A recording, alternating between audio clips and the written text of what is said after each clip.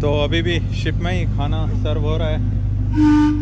कुछ लोग खड़े हैं वहाँ पे।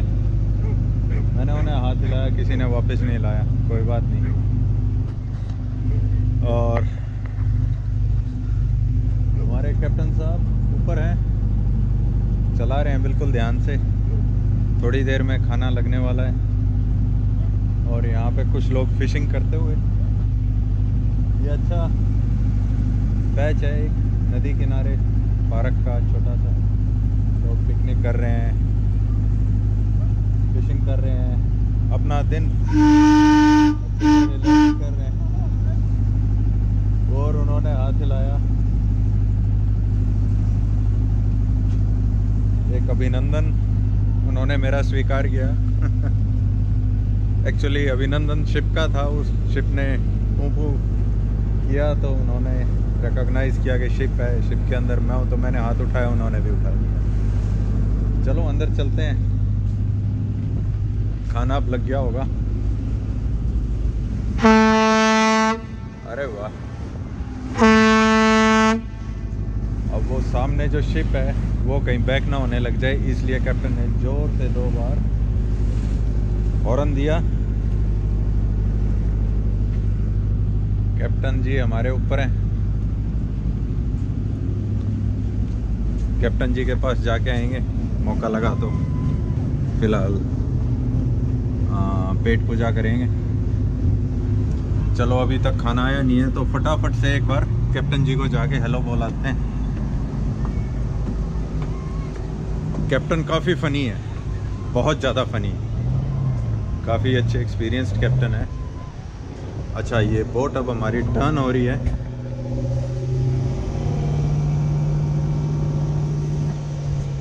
कैप्टन जी ने खींच रखा है इनको बिल्कुल भी डिस्टर्ब नहीं करेंगे हम क्योंकि बड़ा कंसंट्रेट होके बोट को चला रहे हैं तो एक बार जब शिप मुड़ जाएगी फिर थोड़ा कोशिश करते हैं इनसे बात करने की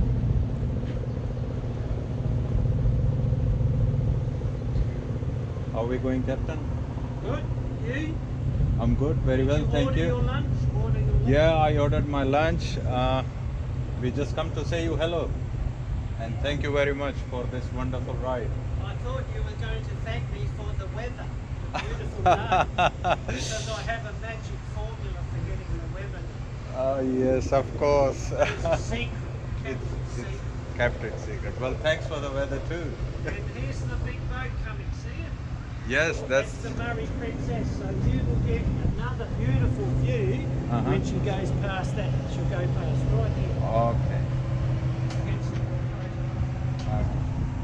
तो कैप्टन जी को बोट चलाने देते हैं उन्होंने बताया मेरे को काफ़ी फ़नी है बोला कि वेदर बहुत अच्छा है इसके लिए भी मेरे को धन्यवाद बोलो मैंने इनको कहा धन्यवाद तो इन्होंने बताया कि बोट अभी जाएगी उसका व्यू बहुत अच्छा आएगा तो मैं खाने की बजाय मैं वेट करता हूँ। खाना नीचे लग गया होगा बट मैं वेट करूँगा कि जैसे ही ये बोट निकले हमारे पास से, मैं उसको कैप्चर कर सकूँ और आप लोगों को दिखा सकूँ। तो इन्होंने मेरे को दो बार रिकमेंड किया कि ये प्रिंसेस नाम की बोट है जो इस रिवर में चलती है।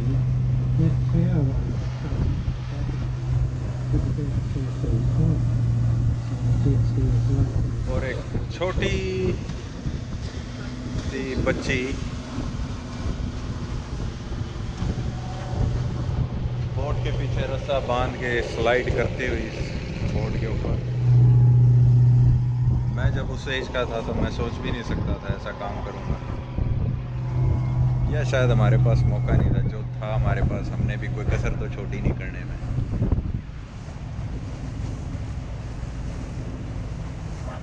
तो वो सामने से जो बोट है प्रिंसेस वो आ रही हैं। हम भी यहाँ पे थोड़ी देर बैठ जाते हैं। तो शायद पाँच दस मिनट में आ जाएगी।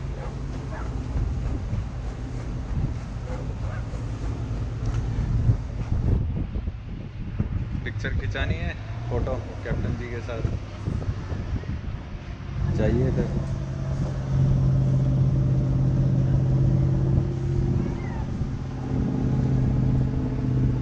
Uh, my wife want to have a picture with you. Is it all right? Yeah, we'll do it after lunch. We'll do it after lunch. After you have dessert, come back. Okay. I've just got to concentrate a bit. No worries at all. So, chalo. What did you order for lunch? I'm having chicken schnitzel. And what does um, your wife have? Fish.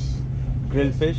I usually have fish. She's intelligent like you. You enjoy that. Okay. You. See you soon. तो captain ji काफ़ी straight forward इंसान मज़ा किया और अपने काम में माहिर इंसान को ऐसा ही होना चाहिए काम में माहिर और मज़ा किया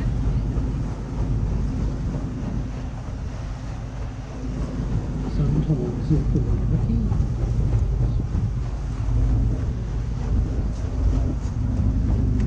very impressive uh, horns.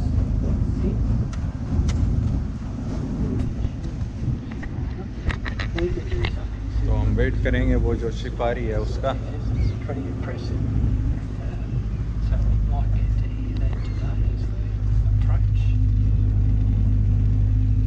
और टाइटैनिक वाली फीलिंग बिल्कुल नहीं आ रही। क्योंकि ना ये टाइटैनिक है और उम्मीद करता हूँ ना ये डूबने वाली है।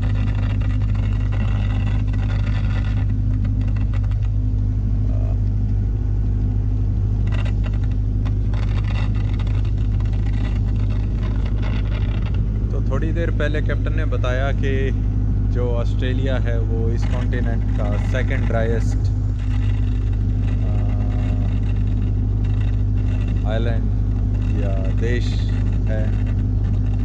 सेकंड ड्राइस्ट देश, और जो साउथ ऑस्ट्रेलिया जहाँ पे हम हैं, और जो ये मरे रिवर है साउथ ऑस्ट्रेलिया ये साउथ ऑस्ट्रेलिया यहाँ का ड्राइस्ट स्टेट है मतलब सबसे सूखा। सूखे का मतलब ये नहीं कि यहाँ पे पानी नहीं है। सूखे का मतलब ड्राइएस्ट स्टेट का मतलब ये कि यहाँ पे सबसे कम बारिश होती है comparative other states of Australia तो ड्राई स्टेट का मतलब ये भी नहीं है कि यहाँ पे लिकर नहीं मिलता। अभी आपको अंदर बाहर दिखाया था। हमारे इंडिया में तो ड्राई स्टेट का मतलब लोग कहते हैं, उफ, बारिश से कोई लेना देना नहीं। जो ज़रूरी काम है वो पहले होना चाहिए।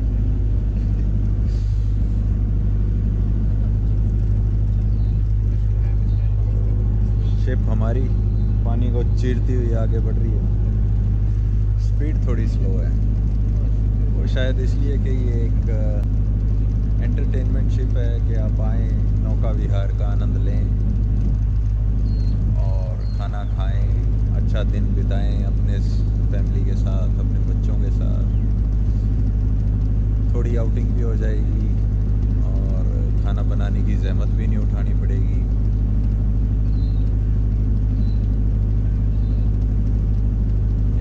सी हो जाएगी और वो भी बोट के अंदर। हाँ खर्चा हमारा आया है इसमें 130 डॉलर दो जनों का। सबसे ज़रूरी बात तो मैं आपको बताना भूल ही जाता हूँ हर बार। और जो कैंपिंग साइट हमने बुक की थी कल, उसका खर्चा था 30 डॉलर उससे पहले रात जो कैंपिंग साइट बुक की थी, उसका खर्चा था 33 डॉलर और उससे पहले जो बुक करी थी हमने, वो बिल्कुल वो रेगिस्तान और आ, जो वो समुंदर था Table five and table six. Your bills are being served. So thank you There you are. Table five, table six. तो अभी अभी कैप्टन ने जो अनाउंसमेंट किया है कि टेबल पाँच अच्छा आपका खाना लग चुका है टेबल पे, हम बाहर खड़े हैं। तो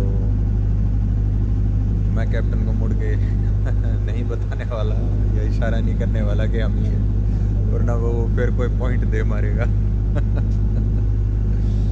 तो हम इस शिप का इंतज़ार कर रहे थे।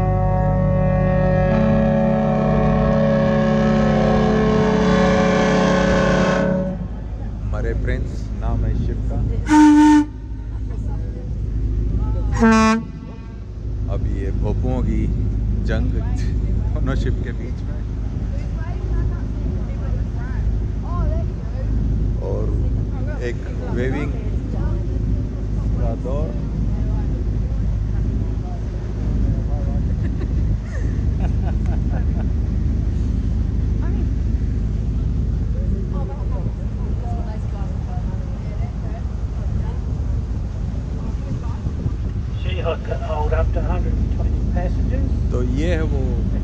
Paddle boat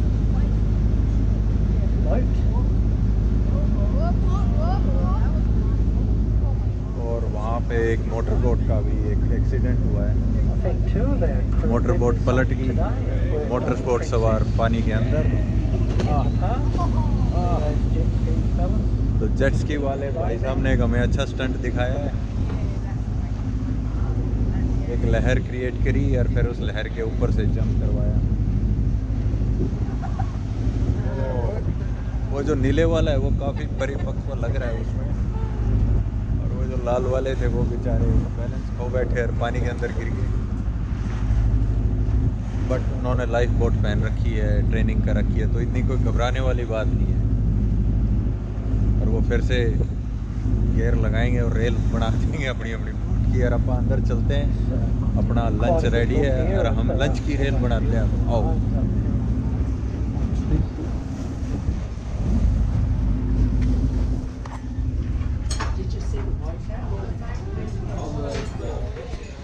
Very first paddle steamer um, that was launched in South Australia was back in 1853. William Randall was the captain.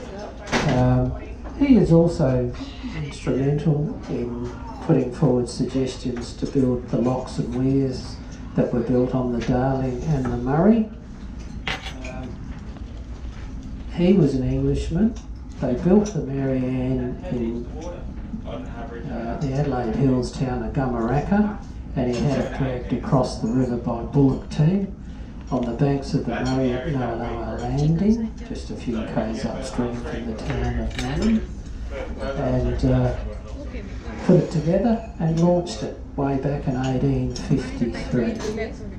A short time afterwards, Francis Cadell Called the lady in Augusta. And both of these boats were part of a major advertising campaign to encourage people to build paddle steamers because the co captain William Randall, it was identified that this massive कुछ amount कमी of है तो river वो drinks की systems वो in मैं बाहर से Murray-Darling जाके Basin for people थोड़ा that soft lived in drink लेके those आता हूँ areas कोका कोला remote जैसे कुछ that had to put up with very slow delivery and very costly uh, waits for their goods and services to get to them by camels or, or uh, bullock teams.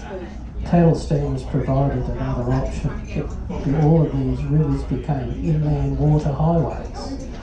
And so much so that the government put up a purse, a prize, to promote a race between these two boats with a prize of £6,000, which was an awful lot of money back then. Captain Cadell won uh, it in his boat. What it did do,